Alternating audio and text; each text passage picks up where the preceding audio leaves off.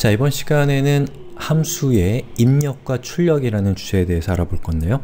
어떻게 보면 수학에서 함수라고 하면 가장 중요한 요소라고 할 수 있는 것이 바로 입력과 출력입니다. 당연히 프로그래밍에서도 함수의 입력과 출력은 아주 중요합니다.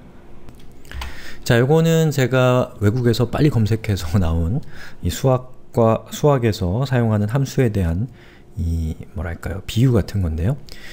뭐 수학 이랑 상관없는 얘기예요. 수학 때문에 걱정하실 필요 없습니다. 저도 수학 중학교 1학년 1학기 때 그만둔 사람이기 때문에 하지만 수학 공부 요즘 하고 있습니다. 여러분도 프로그래밍 하시다 보면 수학 공부를 어, 하고 싶은 마음이 들 겁니다. 예. 그리고 프로그래밍을 하면 어학연수에 온 것과 비슷한 효과가 나요. 예, 영어 공부를 어, 하고 싶게 되고 또 프로그래밍을 하게 되면 자연스럽게 영어에 노출되게 되는 효과가 있다라는 얘기죠. 그러니까 어, 영어를 못해서 또는 수학을 못해서 프로그래밍을 못한다라는 생각하지 마시고 프로그래밍을 통해서 이러한 것들을 잘할 수 있다 라는 생각을 가지셨으면 정말 좋겠습니다. 저는 그렇게 생각하고 있어요. 자, 수학에서 얘기하는 함수에 대해서 먼저 좀 얘기해보면 원래 수학, 영어, 영어에서는 함수가 펑션이잖아요? 뭐 기능 이렇게 해석될 수 있습니다. 자, 그런데 동양에서 중국에서 함수를 이렇게 번역합니다. 자, 여기에 있는 요 함이라고 하는 것은 상자 함자예요. 상자. 자, 그래서 영어권에서의 함수 기능 또는 뭐죠?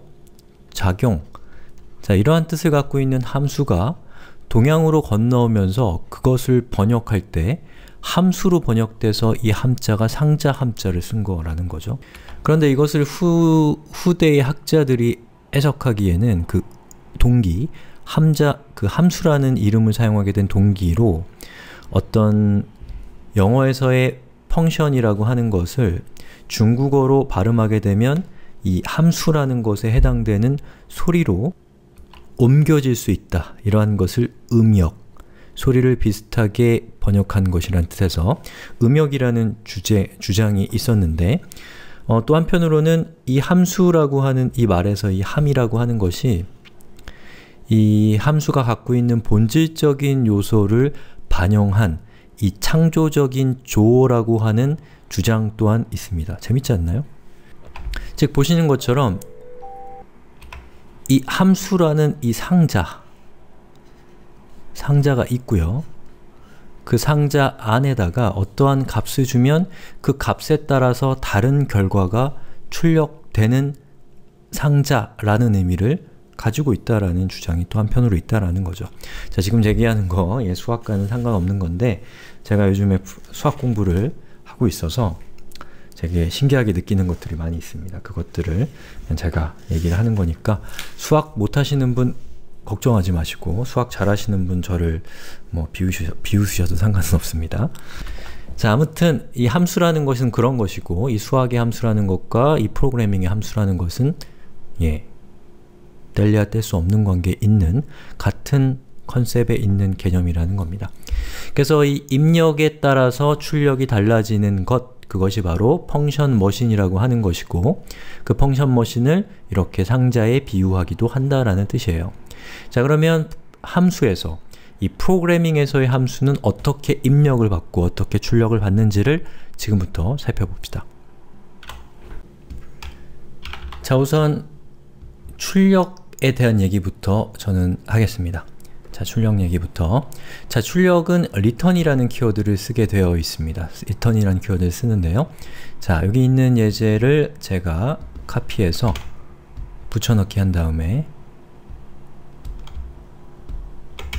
자, 이것을 실행해 보겠습니다. 자, 코드를 보시죠.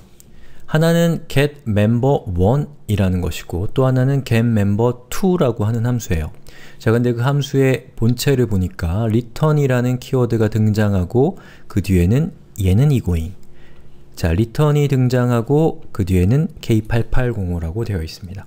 자, 이 return 뒤에 있는 return이라는 키워드가 등장하면 두 가지를 합니다. 첫 번째, 이 함수를 종료시킵니다. 이 return 뒤에 나오는 코드는 이따 손 치더라도 실행되지 않습니다. 자, 그 다음에 return 뒤에 있는 자, 이 세미콜론 전까지에 있는 이 값을 바로 이 함수의 출력값으로 반환하게 됩니다. 자 그러면 여기 있는 getMember1이라고 하는 함수를 실행을 해볼까요? 자 여기 있는 얘가 실행이 되죠? return이 나왔어요. 일단 종료가 돼야 되는데 종료하면서 return 뒤에 있는 egoing이라는 값을 함수 바깥쪽으로 뱉어내게 된다는 겁니다. 자 그러면 제가 이렇게 빨간색으로 표시한 이 부분은 egoing이 됩니다. 자 그리고 이것을 실행하면 이 부분은 뭘로 바뀌느냐면 바로 이 부분 K8805가 된다라는 것이죠. 자 실행을 한번 시켜볼게요. 자, 아까 방금 만든 그 파일인데요. 실행하면 egoing이 한번 실행되고 두 번째는 K8805가 실행됐습니다. 자, 만약에 여기 있는 요 함수 자, 나머진 지우고요.